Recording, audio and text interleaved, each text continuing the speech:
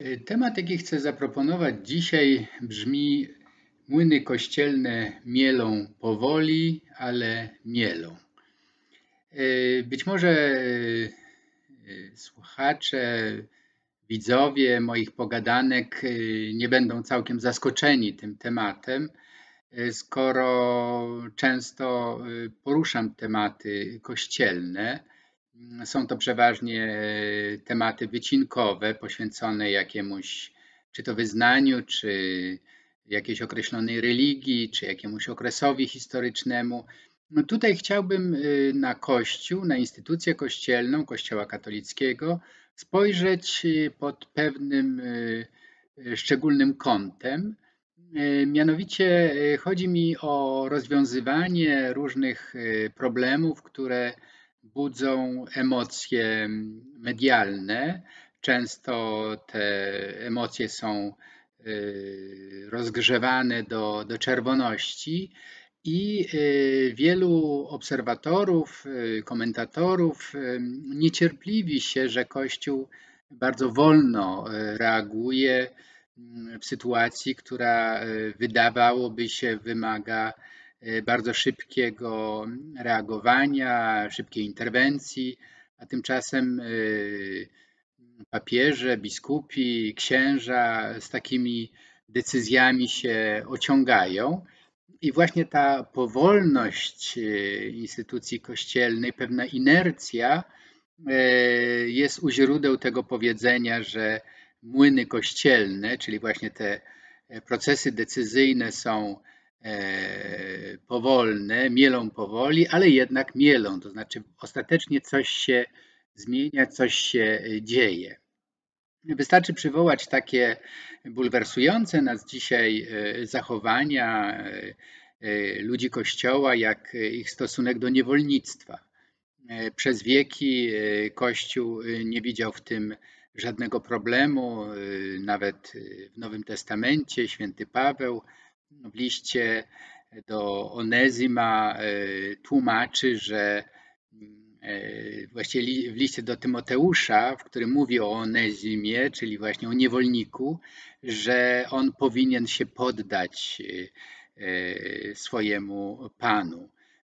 Ta, ten list, to stwierdzenie świętego Pawła przez wieki usprawiedliwiało istnienie instytucji kościelnej. Rzeczywiście Kościół, e, ludzie Kościoła, właśnie biskupi, zakony e, posiadali niewolników, ale to się zmieniło gdzieś od XVIII-XIX wieku i dzisiaj Kościół oczywiście potępia niewolnictwo. To samo można powiedzieć o istnieniu na przykład inkwizycji, która przez wieki przerażała budziła postrach e, u e, różnych dysydentów religijnych, czy jak to e, ortodoksi nazywali heretycy. No z tego względu, że inkwizycja po pierwsze w swoich przesłuchiwaniach posługiwała się metodami, które budzą nas, nas dzisiaj odrazę, czyli torturami, a często wyroki negatywne, e, skazujące kończyły się stosem. Więc tego dzisiaj też nie ma i nikomu nie przychodzi do głowy, żeby karać e, ludzi, którzy mają odmienne poglądy e, stosem czy torturami. Więc to są może odległe historyczne tematy, które dzisiaj nie budzą takiej emocji, ale jest pewna sprawa, która bulwersuje komentatorów, nie tylko komentatorów życia kościelnego, bulwersuje nas wszystkich. Mianowicie chodzi o stosunek Kościoła do e, straszliwej zbrodni, która dotyka e, istoty słabe, e, bezradne, które padają ofiarą pedofilów w sutannach. I od lat 80., kiedy po raz pierwszy publicznie zaczęto dyskutować problem pedofilii kleru, ten problem był y, bardzo niechętnie podejmowany przez media, a y, Kościół robił wszystko, żeby zatuszować, zamieść pod dywan takie niewygodne sprawy. Księża byli przenoszeni z parafii na parafię, biskupi robili wszystko, żeby, broń Boże, nikt się o tym nie dowiedział. Dopiero wielkie poruszenie, jakie spowodowała seria publikacji w amerykańskim dzienniku The Boston Globe, potem film, który był oparty na tych reportażach dziennikarzy z tej gazety, zatytułowany Spotlight, sprawił, że o sprawie zaczęto dyskutować. Posypały się wyroki, wielomilionowe koszty ponosiły diecezje amerykańskie i dość szybko ten problem się rozlał na całym świecie, na cały świat, tam gdzie do takich e, spraw, e, wyroków e, dochodziło.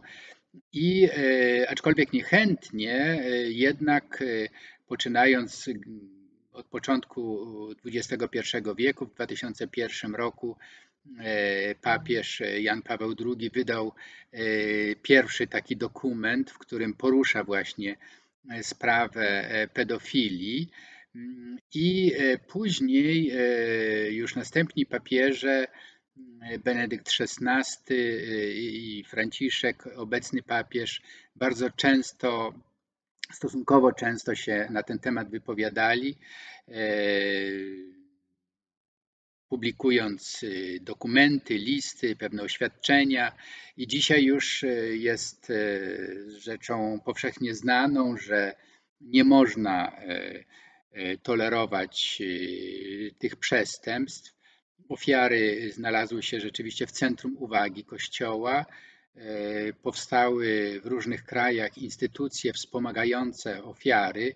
Również taka instytucja istnieje w Polsce przy Akademii Jezuickiej Ignacjanum w Krakowie. Ta, to centrum posiada świetnie zbudowaną stronę internetową, Nazywa to się Centrum Ochrony Dziecka. Tam e, te wszystkie dokumenty papieskie, o których wspomniałem, są dostępne w języku polskim. Ich lektura naprawdę e, bulwersuje, e, zdumiewa, że takich kościołach, które przez wieki dominowały w krajach katolickich, jak Irlandia zwłaszcza, czy właśnie wspomniane Stany Zjednoczone, gdzie wprawdzie Kościół nie stanowił nigdy większości, ale jednak e, stanowił ważną siłę polityczną, że właśnie w tych e, krajach e, do tych przestępstw dochodziło. W Polsce również problem pedofilii jest przez Kościół podejmowany, aczkolwiek z ogromnymi trudnościami i oporami mimo tych wspomnianych ważnych y, oświadczeń y, papieży, zwłaszcza taki dramatyczny list y, do Kościoła Irlandzkiego istnieje papieża Benedykta XVI, bodajże z marca 2010 roku, w którym papież w pełni się solidaryzuje z ofiarami, wyraża swoje oburzenie na brak reakcji ze strony Kościoła, nazywa Y, niezwykle mocnymi y, określeniami y, księży, którzy się takich czynów zbrodniczych dopuścili, nazywa ich wręcz zdrajcami. To są bardzo mocne słowa, ale one są uzasadnione właśnie cierpieniami, jakich doznały dzieci przez dziesięciolecia. Na szczęście e, również w Polsce e, ta e, polityka zera tolerancji dla przestępstw pedofilskich zaczyna zdobywać coraz większe uznanie, poparcie również ze strony społeczeństwa, choć zdarzają się jeszcze ciągle publicyści, nawet księża, którzy twierdzą, że jest to medialna nagonka na Kościół, że jest to próba e, niszczenia e, e, Kościoła. Otóż trzeba jasno powiedzieć, że pierwszymi, którzy wypowiedzieli wojnę tym przestępstwom wewnątrz Kościoła są przywódcy kościelni, a więc papieże, którzy z całą surowością traktują nawet najwyższych urzędników.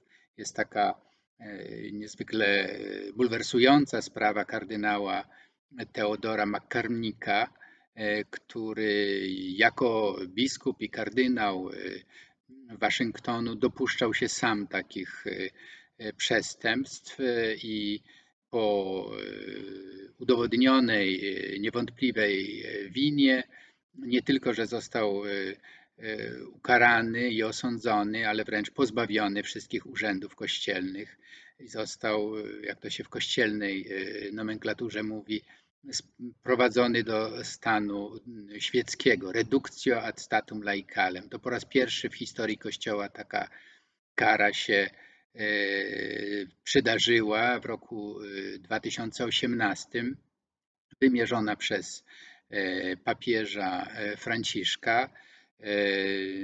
Papież, jego poprzednik Benedykt XVI zdymisjonował 80 biskupów właśnie za krycie pedofilii E, znany jest e, spektakularny przykład podania się do dymisji całego episkopatu chilijskiego, dlatego że właśnie biskupi chilijscy e, kryli takiego notorycznego pedofila księdza Karadime, którego mm, ofiary domagały się właśnie zadośćuczynienia. W Polsce największą chyba rolę odegrały dwa filmy braci Siekielskich. E, którzy właśnie ten problem e, z całą dramatycznością pokazali i w istocie wiele ofiar po tych filmach e, ośmieliło się, żeby o swoim bólu, cierpieniu i traumie opowiedzieć medialnie, niektórzy pod nazwiskiem.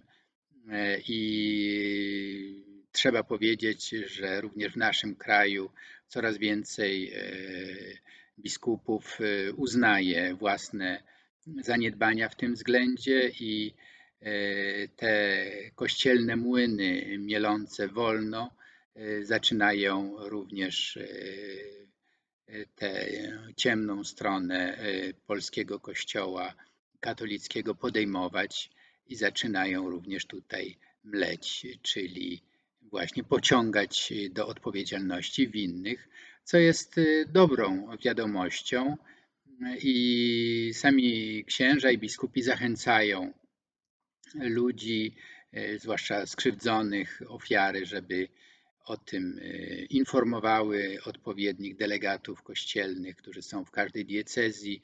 E, całość koordynuje jezuita ojciec Adam Żak w Krakowie.